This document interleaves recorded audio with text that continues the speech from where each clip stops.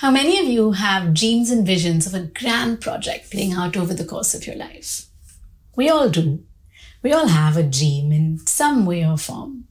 We all want to find out how one moves from just being to being perfect, or at least close to perfect. There's a quote by Rumi that I absolutely love that says, Let yourself be silently drawn by the strange pull of what you really love.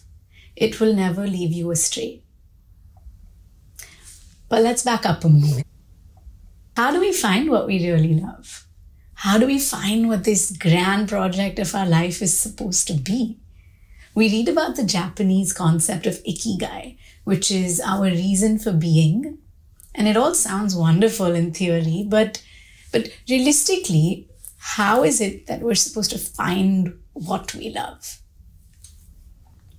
My name is Sanjana Chatlani, and I'm a calligraphy artist from Mumbai.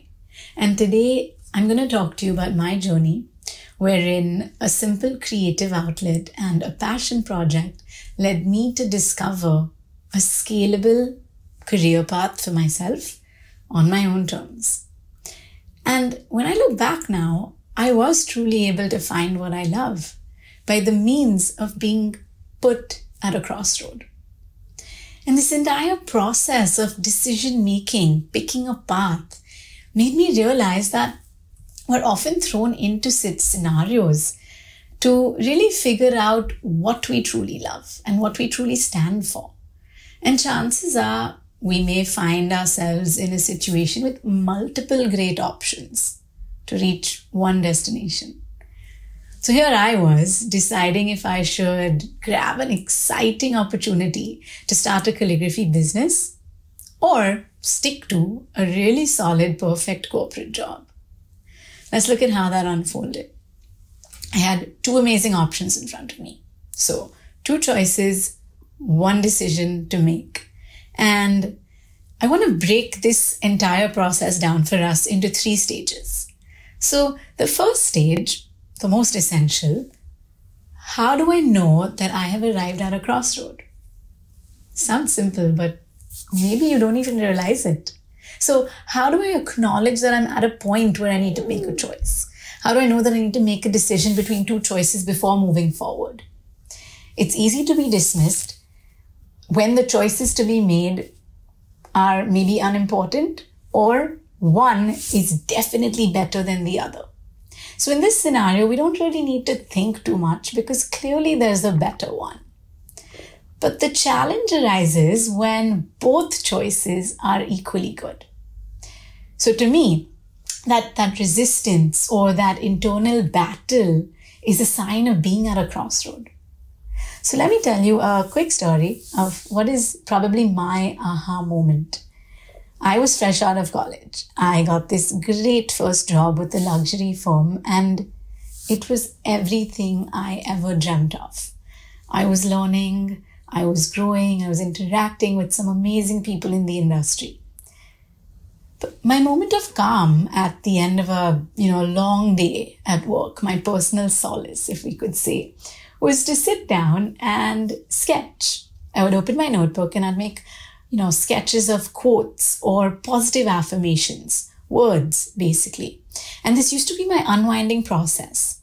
And somehow through the course of my daily engagements, I realized that a combination of skillful doodles and a continuously developing sense and love for design led me to start thinking about what could come next.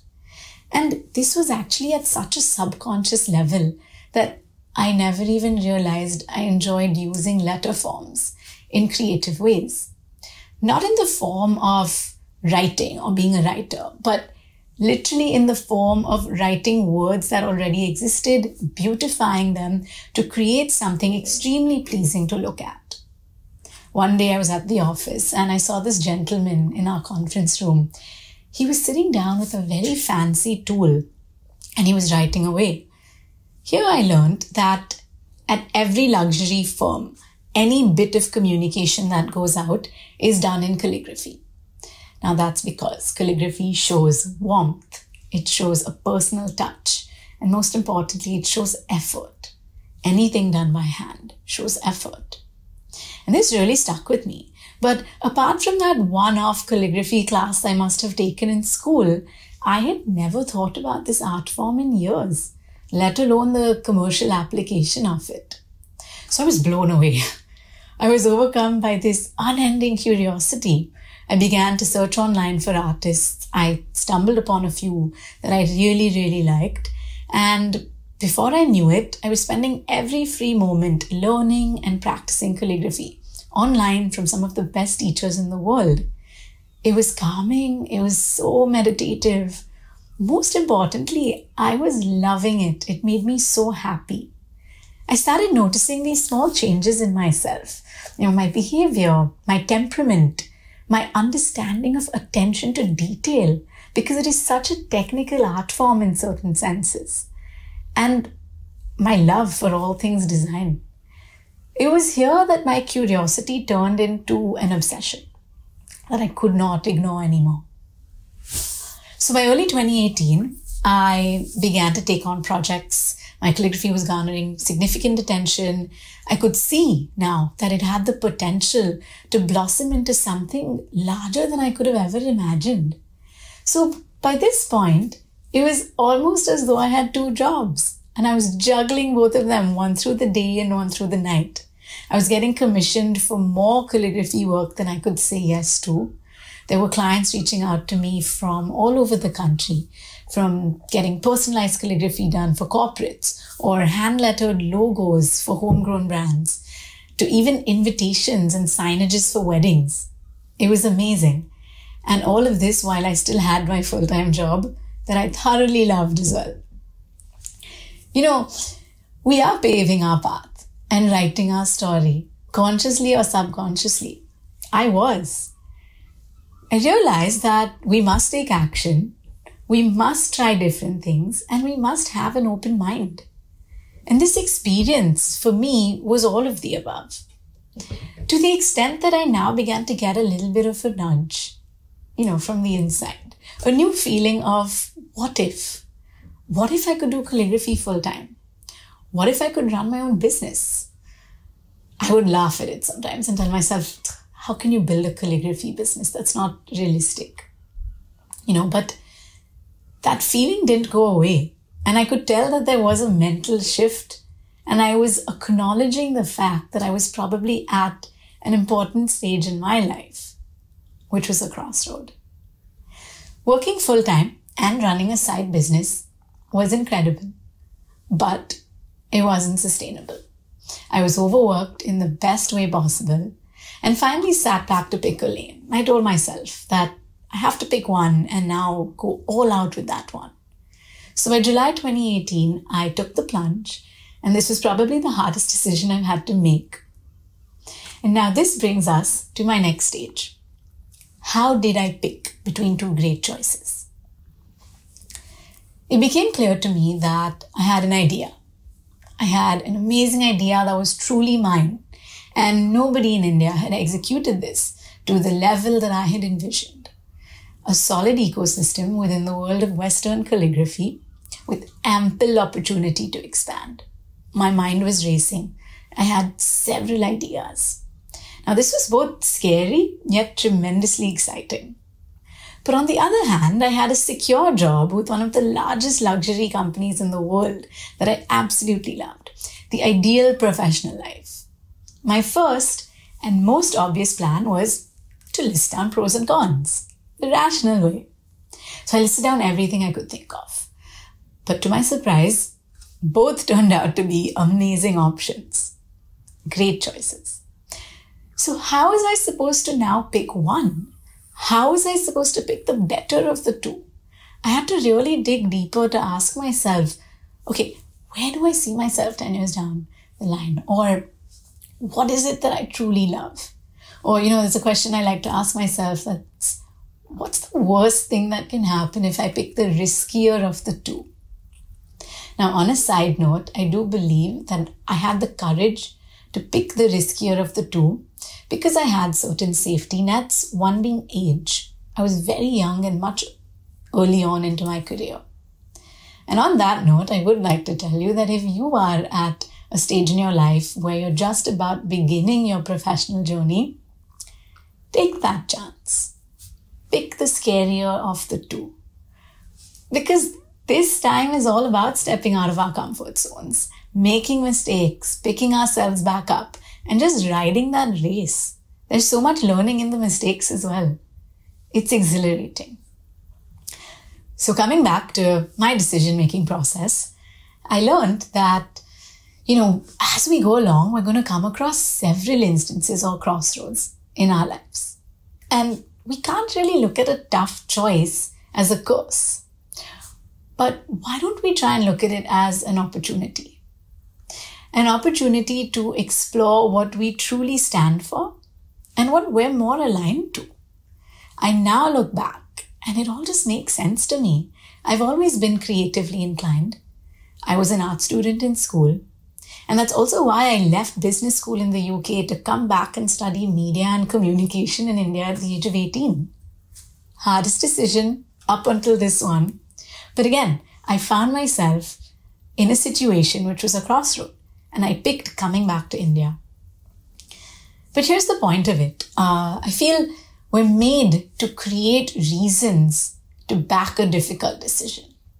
And that is a very important life exercise to me now when I look back.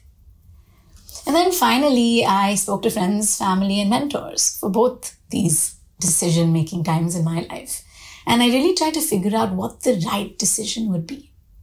And through this process, it became clear to me that there is no right or wrong.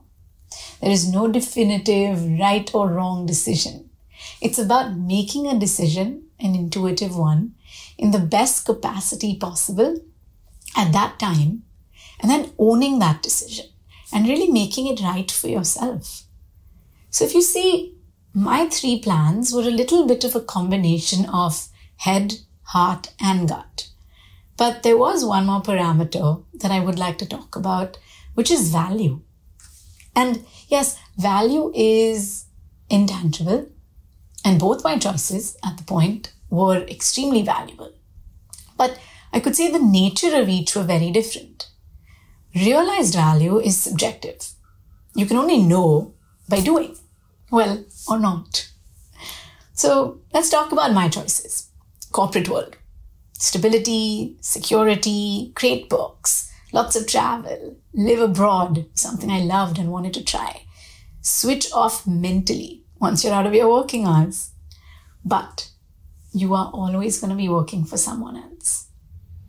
Now let's come to creative entrepreneurship or just entrepreneurship. No paycheck coming in every month, immense pressure to build a business, a successful one, accountability for everything. You can never switch off, but flexibility, being your own boss, building a life that you want for yourself, and experiencing the joy of seeing your ideas just blossom and succeed. That's a whole other adrenaline rush. So, different values, different ways of living. It became clear to me that as we go through this internal process, this difficult internal decision making process, you will begin to favor certain alternatives or choices. Those that do have a higher potential for reaching your goal. And finally, chances are you would prioritize and go ahead with the path that resonates with what you truly want from life. Invariably, every decision we make is leading us to choose the kind of person we want to be. So, finally, let's look at what lies ahead once the decision is made. And this brings us to my third stage, which is life after the crossroad. I've seen a lot of young entrepreneurs and business owners who focus so much on the very fact of starting up that they actually lose sight of sustaining picking a great option for yourself is just the beginning because it's after the crossroad that your journey truly begins. My decision to quit my job and build a business around calligraphy has been one of the best things that's happened to me in my life. I'm owning that decision and I'm living a new life, taking on unique challenges that come my way every day. Funnily enough, I'm at a new micro crossroad in my business today, and I know I encounter several of them. One of them being should I scale up or should I remain boutique? And I know I'm going to go through this process time and again. I'd also be lying if I'd say that I never question my decision. Because, like any business, there are difficult days, especially when you're starting out. And we're all human. So, there are challenges, unique ones that come our way every day. But it's really embracing them and making the most of them and coming out through them. So, what started out in 2017, I had no competition. Imagine how wonderful that was. Uh, it was almost like a monopoly. But today, five years later, there's serious competition with young calligraphers emerging across the country. I could double question myself. I could doubt myself. I could doubt my decision. And it's natural to just second guess ourselves. But that's going to keep happening. And I realized that the core of what we do is always going to pull us back. And something in our day is going to remind us of why we've chosen this path and why we love it so much. As a creative entrepreneur today, I am constantly trying to strike a balance between being an artist and being a business owner because entrepreneurship is new to me. And as an artist or any skill based professional, we must keep learning, growing, and enhancing our skills. Because if we stop growing and stop learning, we're as good as dead. So being able to immerse myself completely into my craft and then step away to be able to look at it from the lens of a business is something I'm actually enjoying. The, the duality of roles is what's tremendously valuable for me too. So here I am in year five of my entrepreneurial journey, each day as exciting as it can be, and I'm here to tell you that I did find what I love through the beautiful opportunity of a crossroad. Not a curse, but an opportunity. And on that note, as Einstein said, if you always do what you always did, you will always get what you always got. So I hope you move away. I hope you are encountered with challenging crossroads and I hope you embrace them thoroughly because there is so much value that comes out of just challenging yourself every now and then and getting a step closer to really understanding what you truly love. Thank you.